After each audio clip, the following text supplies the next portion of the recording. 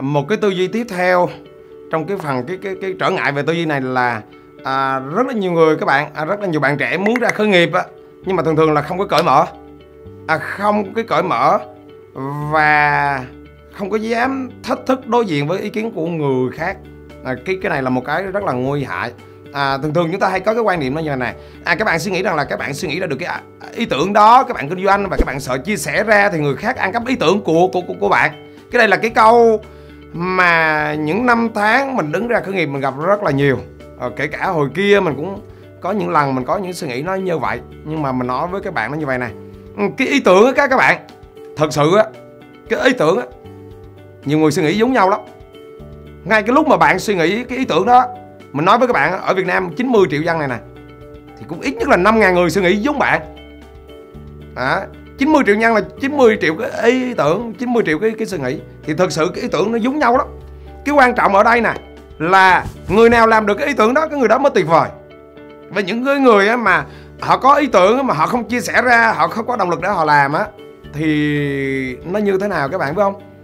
À, sau một thời gian cái nó họ thấy ai đó họ làm cái họ hay nói ồ cái ý tưởng kia là cái ý tưởng hồi đó ý tưởng của họ đó mà họ chưa kịp làm họ chưa làm cái cái người đó làm mất rồi à, cái cái các các bạn nói như vậy thì nó rất là thú vị các bạn nghe nó nó nó rất là vui.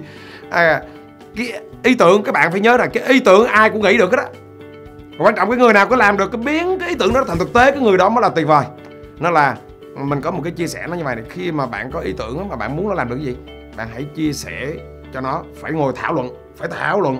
Tức là mình tìm những cái con người họ rất là giỏi giang họ đã thành công rồi các bạn thảo luận với họ à, và các bạn càng thảo luận á thì các bạn càng nhìn thấy ra được những cái những cái ý tưởng của bạn nó ra rất là rõ ràng và nó rất là hiện thực trong thực tế. Và chúng ta phải chấp nhận gì? Những cái ý kiến trái chiều tranh luận nảy lửa lên.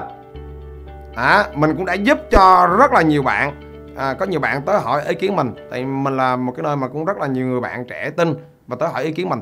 Thì có những lúc mình đóng cái vai trò là người phản biện cãi lộn vậy với bạn rất là nảy lửa vậy đó thì bắt đầu, bạn mới nhận ra à cái ý tưởng mình nó còn khiếm khuyết những cái gì? Nó còn yếu những cái cái gì? Nếu các bạn có một ý tưởng mà các bạn cứ mãi gì, mãi để trong đầu của mình, rồi sợ người ta ăn cắp.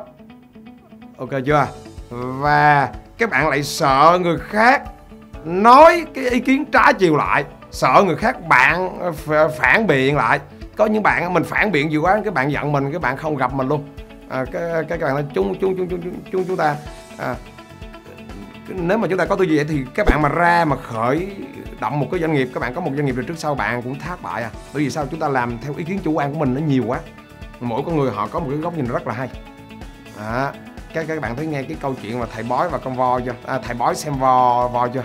À, cái câu chuyện đó là từ nhỏ tới lớn ai cũng biết rồi. Mỗi cái người rồi đúng cái chân tôi cứ tưởng cái chân là co voi cái ông rờ đúng cái con vòi tôi cứ tưởng cái vòi là voi. À các các bạn thấy chưa tức là cái câu chuyện nó nói là nó giúp cho chúng ta có một cái góc góc, nhìn rất là tuyệt vời. Cái ý tưởng chúng ta mới ra hình thành á có thể là chúng ta đâu là một phần nhỏ trong cái ý tưởng đó thôi.